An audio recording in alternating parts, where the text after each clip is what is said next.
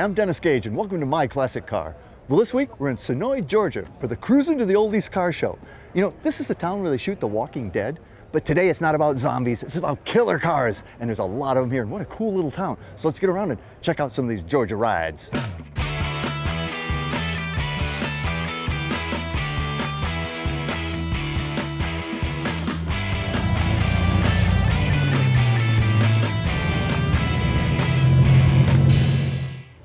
How you doing, man? Good, thank you. How are you doing, Dennis? This is a nice little town. Oh, we love this town. Sonoy, Georgia. Sonoy, not, Not Sonoya. Sonoya, uh, No. even though that's how it's spelled. Yes. Sonoy.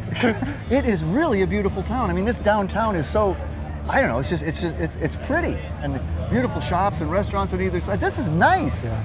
And have Oh. you always done the show right downtown? Right downtown. We've been doing this is our 13th year doing it. Well, this is a bit of a mecca for a lot of reasons, because Sonoy is where they shoot The Walking Dead, right? Yeah, Walking Dead. Walking Dead is shot right, right over there. But we have no zombies today, right? No zombies. zombies. at all, right? No zombies. But how many cars do you have? There's roughly about 400 cars here. Man, is that, are you capped out there, or We're capped out at 400. you 400. just can't handle anymore? Can't handle anymore. The town's so small and quaint that that's about all we can handle into. But you got them packed in, and again, I just I just love the look. At everybody seems to be having a blast here. yeah, they are. And there's a mix of all different cars here. Yeah, there really is. I've seen a little bit of everything, a wide range. And and again, I mean, families and everybody's just having a blast. And I've seen some I've seen some pretty cool cars. Let me show you a couple of my faves. What do you say? Let's go. well, Chuck, this these are interesting cars. Uh, I was just getting here when you came rolling in with these two what looked like Lister Jags to me. I'm like, well, that's a nice grouping. I mean, they're obviously replicas, but wow! I mean, you built these. You built these. Right. You also, I, I learned, built the Shogun. Like Jay Yeah. Leno's Shogun, you built those. Yeah. Well, no, the, the Shogun was actually a uh, Festiva with an SHO engine in it, Right. which was pretty insane. So this is modeled after a, a Lister Jag.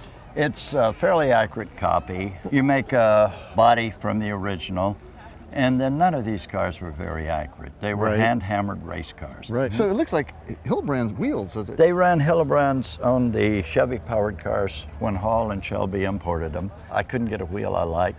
So I carved some centers out of mahogany. We've had some castings made. We've made our own wheels. How about these vents? What are they off of? Uh, that came from the hardware store. It's some aluminum extrusion. You, you do what you, You can. do what you got to do, right? Right. Well, I like the windshield too. I mean, that's really a that's a Well, this- perfect windshield. This is off of our Porsche Spider. It's an original Speedster windscreen.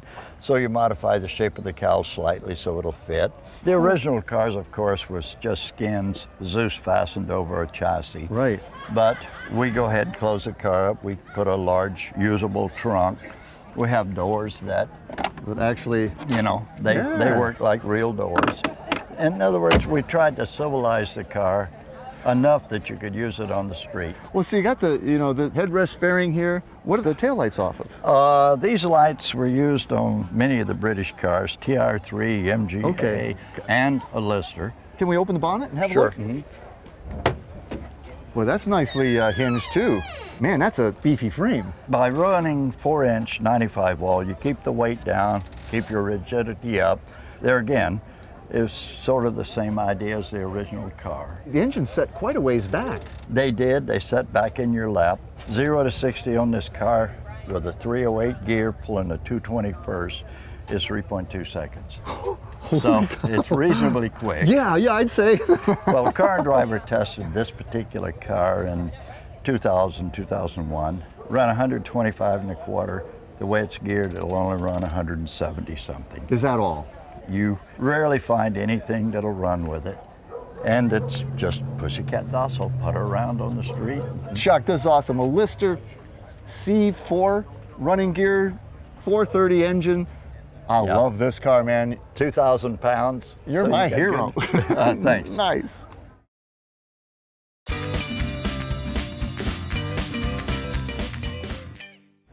Well, Mike, this is a really interesting car. This is a a 41 Ford, what, Super, Super two, Deluxe? Two-door sedan, super deluxe. This is a stock color, right? Exactly. I tried to keep it old school, like the car I couldn't have in high school. You see a lot of 40 Fords. Oh, yeah. But you don't see a lot of 41s. no, they're not that plentiful. They made them part of the year, and then the war broke out. Well, okay, so- this one was built December 10th of 1941. Uh, oh, so what? Three days after, after Pearl Harbor. Yeah. Wow. What I love about it, again, I mean, she's stock looking, but not here. Exactly. I, I love what you've done with this flathead. I mean, you got the It's- offy heads on it. It's an original 41 motor, which was the last year for the small 221 cubic inch motor. Yeah. But then I've got a four inch Eagle billet crank, Wow. H-beam rods, Ross racing pistons, and we put all small block Chevy intake and exhaust, which are 100 thousandths bigger than the early Ford. Uh-huh. It just kept getting taller. I love your headers here. the reason for those is this car came with an optional town and country horn, which are long Oh, yeah, diesel right. type horns over Right. there. And I wanted to save them. And so the only place I could come with the headers was up And, down over into and the down. wheel So well. they're, yeah, I see them down in there. Yeah. And it just, it's mold. I mean, you hardly even notice it. Well, because it. it follows the Pe- contour so People well. look at the car because I made new running boards too, of uh-huh. course. You know, your interior is like, again, this is like original 41, isn't it? Yeah, it is. This is a reproduction of all the original fabrics. Even this this fabric the- pattern? The, pattern and Oh, everything. man. The dash and the window frames in 1941 were all hand painted with wood grain. right. And I found a man in Hemmings that did it for Ford back in the day. And did it beautifully. So I glass beaded them, primed them, made a special box to put them in, and shipped them to him. And, and he wood grained all the By all hand. the- How about the plastic here, which was, you know, That's I mean, a that was. reproduction piece. Okay, the 'cause that only was- reproduction is the radio bezel Uh-huh. and that piece. All the rest of it are the original pieces. Gosh, even headliner's done beautifully. Yeah. I mean, this is just gorgeous, Thank man. you. So you really haven't done many body mods, right? There was a lot of work in the fenders, and to get them to look the same, the front was kind of easy. It's real subtle too. I mean, uh, y- you really would have to know the car to know you've done anything to the Exactly. fenders. Stock interior, you know, original color, and then this magnificent flathead. It's awesome. Like 1941 Ford Super Deluxe Right. with just a fabulous flathead. Thanks for bringing Thank it you, out, man. Thank you, Dennis. Thank you very much. Well, Tony, these are both really cool. Yeah, they are. Nobody sees them anymore. Well, in a pair too. I mean, these what? They're both 63 Rambler Americans, Yes, right? sir. But they're also both 440s. Right. Did 440 mean anything? Uh, there's the trim of the car and supposedly how many miles it gets to a tank of gas. How big a tanks it got? 22 gallons. wow. These are uh, really cool little cars, and you don't see them anymore. no, you don't. When you do see them, it's like, um, is that a Studi Lark? Is that a Ford Falcon? What is that? but it's a Um, Rambler it's a American. Rambler American. I mean, is this actually a stock color combo? Yes, sir. Uh, of course, gonna go with frost white. It was one of the less popular colors, actually. You don't see a lot of them painted this I don't. I, and I don't know why, because I'm telling you, this is a sharp-looking little car. Yes, sir, it is. I thought so too. I think what what drew me to this car though was this interior. This is gorgeous. It's all original. I redid the front seat skins because they got the most wear, but everything else is original. I even have a set of mats that came with the car in 1963. Two shifters? Yes, sir. It's a three-speed with overdrive. Well, you know, in the, in the, the two ovals, the glove box and then the uh, gauge cluster with that kind of sunray look. It's it's. I mean, it's really cool. And what are these? What's that? That's air conditioning vents. It actually has AC. This thing It did, but it, it, It don't anymore. anymore. got everything going on, and, and the fake uh, convertible hardtop. yes, sir. And again, you get back here, and, and, and it does. It's like, is it Studi? Is it Rambler? What is it? It's it's Rambler. 440. And what's this? What's this little designation? That's Hurst. It means it has a Hurst shifter package in it. it does. And yes, sir. It's a 440 It- Hurst. It, came that way. yes, sir. That is amazing. So what what powers an American? It's a little six cylinder. Yes, a little 196 uh, inch six cylinder that pulls 105 horsepower. Ooh, let's go look at that. Oh, yeah, this one is a 50,000 mile original car, so the engine bay looks like Fifty thousand miles. 50,000 miles. Oh yeah, so she's a this is a this is a working engine, isn't it? Yes, sir. You know, people spend a lot of money on them and don't drive them. Cars were made to be driven, and especially these things. So this is a this is a straight six. Was it a special option engine too? The only special option it has what's called a power pack, which means it has a two-barrel Carter carburetor on it. Oh, oh, versus So- a single throat. Versus versus a single a single throat Holley. So this is this is the big one with the two barrel. Right. And it, uh, over the standard one barrel, it gives it another 12 horsepower. 63 Rambler American 440s, convertible sir. hardtop. Yes, wow, Tony, thanks for bringing that out. Thank I you, love sir. that car, man. Oh, I love it, man. Well, Jim, there's there's a lot of car here. Uh, a lot of is. car. This is a 65, 65. Grand, Grand Prix. I love these cars, but man, what grabbed me was this purple, this amethyst color. Now in Chevy, they called this, I think, Evening Orchid. Evening Orchid is correct, and Pontiac called it Iris Mist. Iris Mist. It's such a big car to be sporting this sort of pastel, you know, lavender. it's good in the springtime. It is. It's so cool. and you know, I had never really noticed on these things how much chrome there is uh, on these headlights. yeah. Is that all cast also? Yes. Cheers. Such a Pontiac front end. I mean, you know, the beak up here. Got the beak.